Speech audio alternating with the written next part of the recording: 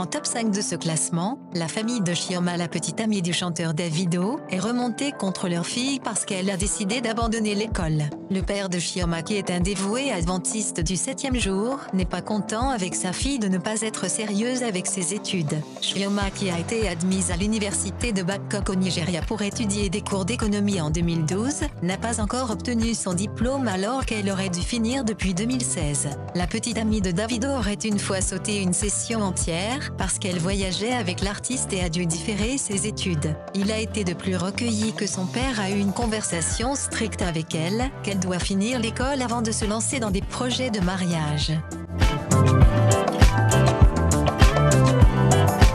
Quatrième position, le fait est aussi visible qu'une souris blanche dans un trou noir. La belle chanteuse Mimi est enceinte, et ce n'est pas récent, vu que son ventre est déjà assez long.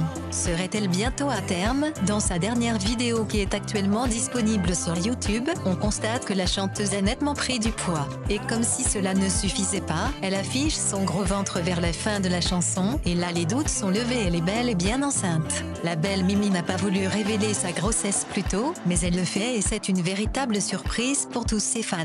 Plusieurs personnes se demandent de qui est cet enfant. Tout de même, les soupçons vont à l'encontre du chanteur locaux, car les deux tourtereaux ont été vus plusieurs fois ensemble, dans des positions qui en disent long. En troisième position de ce classement, nous avons assisté à l'ouverture de l'événement le plus attendu dans le milieu du showbiz ivoirien. Awards du coupé décalé qui dorénavant est devenu Prémude, prix des musiques urbaines et du coupé décalé. Depuis son lancement on a assisté à plusieurs polémiques dues au retrait de certains grosses têtes de la musique ivoirienne, en particulier le coupé décalé. Ces derniers déplorent les manigances de l'organisateur qui est entre autres Mollard à travers cet événement. Malgré tous ces remue-ménages, Mollard reste ferme concernant le déroulement de son événement, et a dévoilé la liste finale des nominations du Prémude.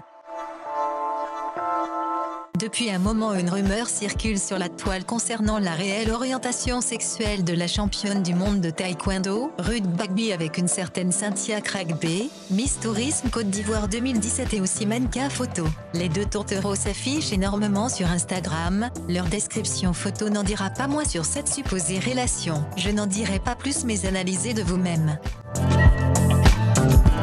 En première position, le torchon brûle entre Kezit et Sidiki Diabaté. Dans un communiqué posté sur Facebook, le label a déclaré qu'il porte plainte contre son artiste ainsi que son père Toumani Diabaté. Le communiqué fait également comprendre que les dirigeants de l'artiste malien sont à bout des difficultés et problèmes tournant autour de la gestion de sa carrière. L'influence négative de la famille et des proches de Sidiki Diabaté est notamment évoquée. On apprend aussi que les préjudices subis par Kezit sont estimés à plus de 4 millions d'euros. Les deux stars africaines auraient réagi en déposant une plainte contre Moussa Vagué pour abus de confiance et escroquerie. En conséquence à cette plainte, le CEO de la maison de production était en prison au Mali.